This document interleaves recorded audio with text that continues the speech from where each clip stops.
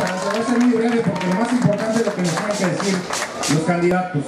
Yo les preguntaría a cada uno de ustedes, eh, ¿cómo les ha ido estos últimos tres años? ¿Tienen mayor ingreso?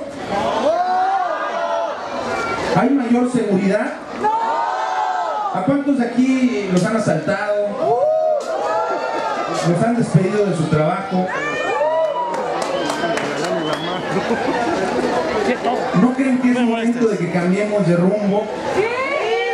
De que le demos un mejor modo de vida a nuestras familias, de que vivamos con seguridad y que dejemos de lado a todos aquellos políticos que han vivido de la buena voluntad de todos ustedes. Yo quiero decirles algo, y es algo que se ha comentado muchísimo, porque Cuernavaca hoy, desafortunadamente a nivel nacional, es conocido como la ciudad más mal gobernada del país.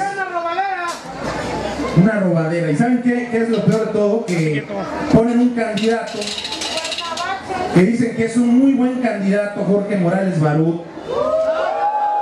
Pero les quiero decir algo peor todavía.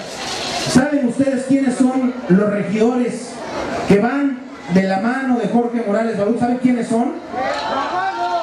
Son los empleados de Manuel Martínez los que le han hecho todo esto a Cuernavaca. Yo creo que hay que tener conciencia y hay que pensar en votar por el candidato, por supuesto, pero también por la lista de regidores que son quienes van a trabajar de la mano con él para no permitir las arbitrariedades, pero también para ayudarle a que las cosas en Cuernavaca vayan mucho mejor. Quiero decirles que ahorita se está llevando un evento, un evento importantísimo en la Ciudad de México con nuestro próximo presidente, un evento donde hay más de un millón de personas acompañando a Andrés Manuel López Obrador, porque no son las encuestas las que van a determinar quiénes son los que ganan, son ustedes, ustedes los ciudadanos que el próximo domingo van a salir a votar y hay que hacerlo sin miedo y con seguridad de que las cosas pueden ser diferentes. Ya probamos al PAN y ya probamos al PRI, pero más que eso, hoy más que probar a la izquierda, estamos probando a los ciudadanos y ciudadanas que hoy van a participar en esta nueva misión, en esta nueva visión que tienen para Cuernavaca. Es gente como ustedes que está preocupada, que ha vivido lo que pasa en este eh, estado y, en particular en Cuernavaca y que están cansados también de tanta corrupción, de tanta impunidad, de tanta falta de compromiso con la sociedad, que por eso hoy han asumido el compromiso de participar de manera valiente y generar una nueva clase política, una nueva clase política que esté comprometida con cada uno de ustedes, que tengamos un mejor futuro para nosotros, para nuestros hijos, que tengamos mejores empleos, que tengamos mejores funcionarios que cuando vayamos a que nos atiendan a esas oficinas gubernamentales, lo hagan de buena manera, con una sonrisa en la cara.